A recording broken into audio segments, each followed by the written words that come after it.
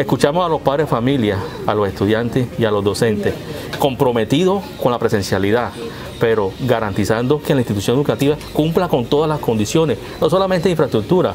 también con dotación mobiliario, con agua potable, adecuación de las baterías sanitarias y por supuesto el comedor y el restaurante escolar, ya que el programa de alimentación escolar vuelve en sitio, es decir, que nuestros estudiantes van a alimentarse dentro de la institución educativa y con todas las ganas de nuestro equipo docente volveremos lo más seguro a estar frente a frente con nuestros estudiantes. Como docentes estamos dispuestos a brindar el servicio educativo, estamos asistiendo a las instituciones, estamos preparando eh, la llegada de nuestros estudiantes para que ellos eh, retomen sus actividades y vuelvan a su normalidad. Es lo que anhelamos todos.